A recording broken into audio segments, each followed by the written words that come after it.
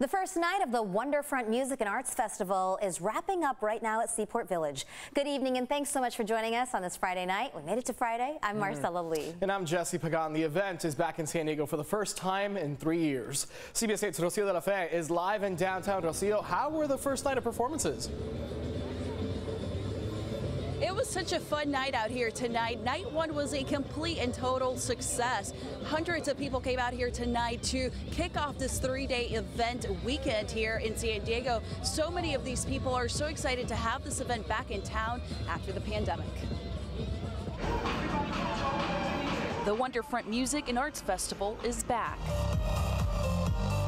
with a star-studded lineup featuring Gwen Stefani, Kings of Leon, the Zac Brown Band, Schoolboy Q, and many more. Gwen Stefani, it was my first concert ever, um, so 20 years ago.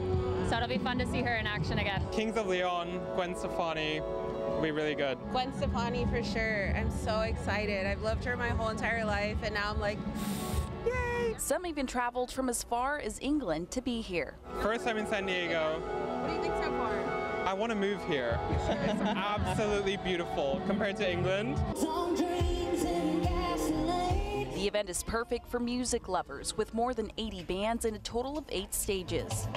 I did this in 2019 and it was amazing. It's really awesome that they actually have these events and that something like this is coming back.